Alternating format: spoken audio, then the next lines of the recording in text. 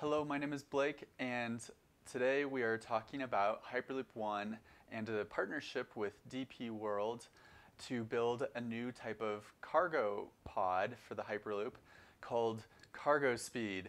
And this is an announcement today uh, that this partnership and the branding of this kind of pod um, will be taking place.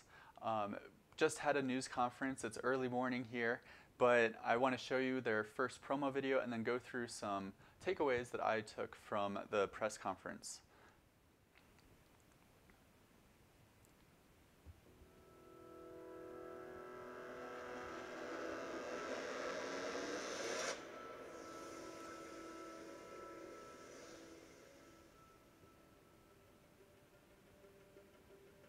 On demand.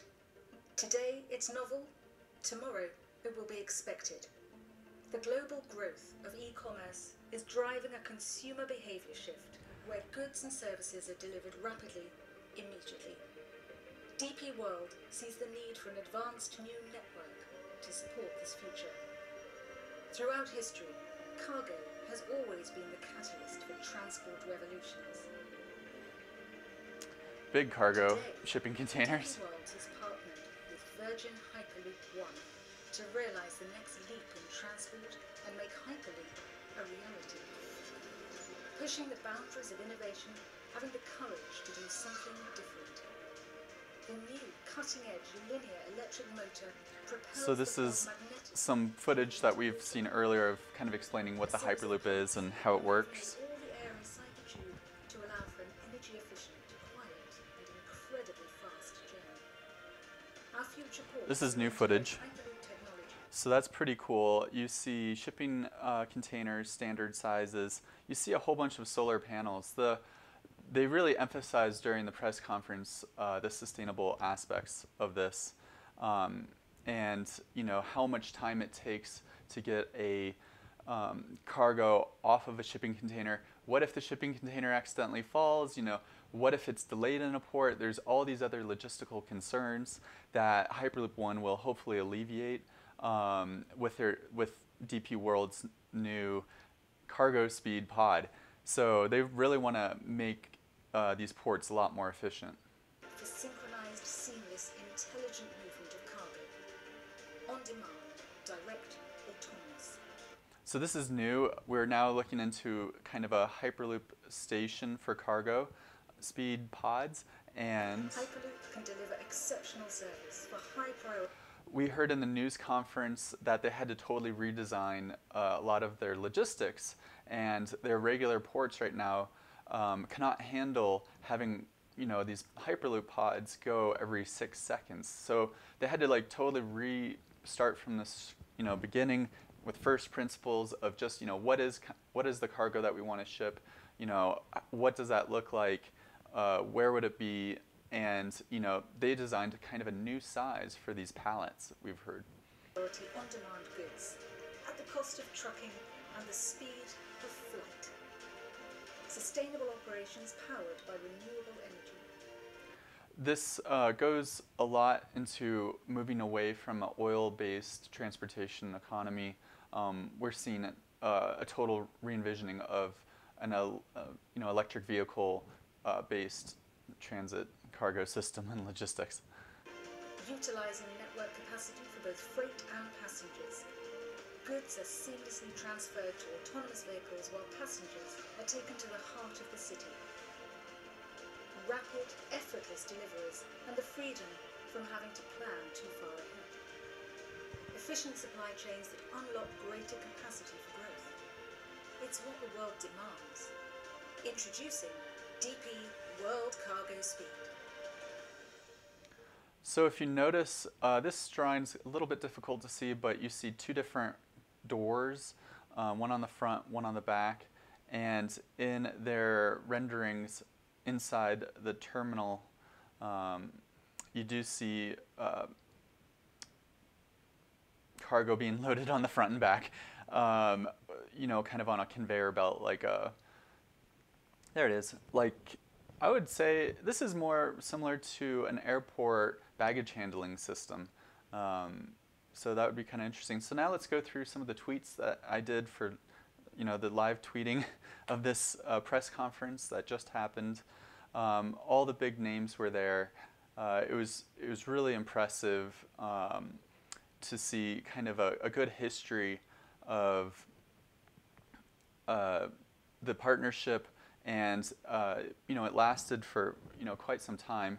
So uh, DP World hosted it. Um, we see the two doors and the new branding of this cargo passenger pod. Richard Branson, um, you know, introduced Josh as you know working really hard on the engineering side and being poached from Virgin uh, Trains and working on this kind of side new startup project. Um, and they really are focusing on the 13 kilometer test track, uh, to Pumba, Mumbai to Pune uh, test track that will be, um, I don't know, they just, they mentioned that quite a bit. Uh, cargo speed is a pod based on the same platform as passengers, but more for palletized cargo. Um, they did, a, uh, DP World did a study and found that the port needs and challenges are more for lightweight cargo electronics, um, produce speed of flight, but the cost of trucking. That was mentioned a couple times. Um, Rob Lloyd also um, discussed the demand of e-commerce economy and how that will grow. Um, there'll be new standard for direct pod delivery, a shift um, from moving from moving cargo in sea containers. Um, some good slides. Uh, they went into a little bit about the engineering. Um, unfortunately, I it went by pretty quick, but uh, you know it went pretty quick. Uh, low passenger, it's basically like what Hyperloop One has developed in the Nevada desert.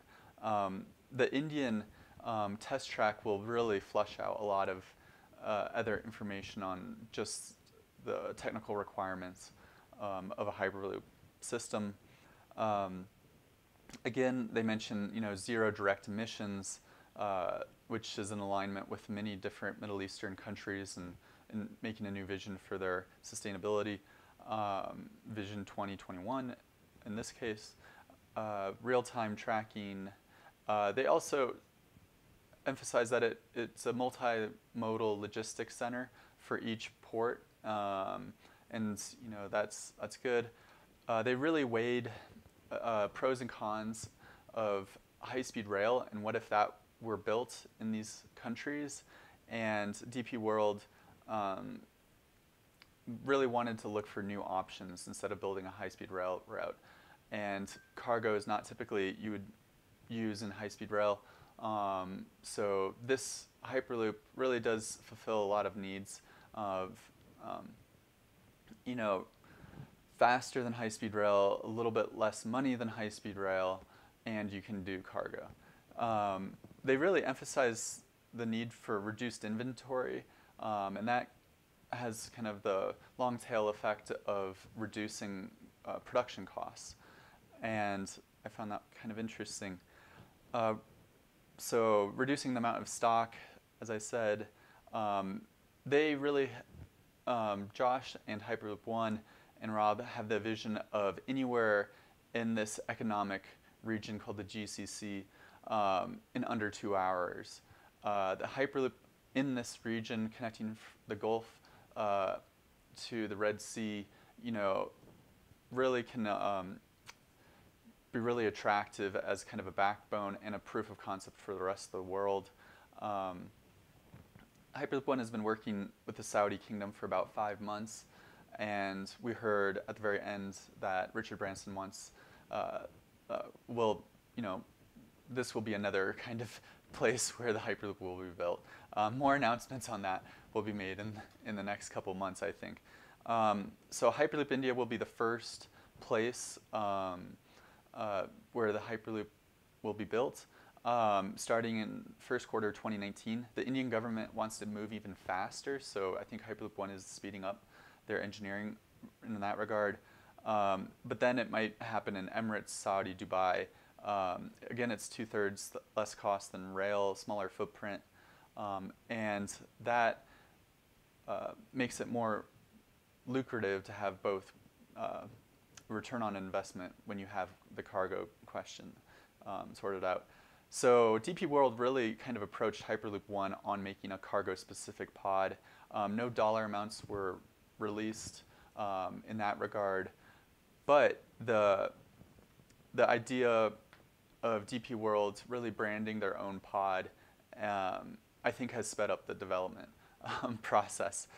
Uh, so, question about Mumbai: definitely full, you know, certification 2020. Um, they will also be using the Cargospeed pods first before passengers.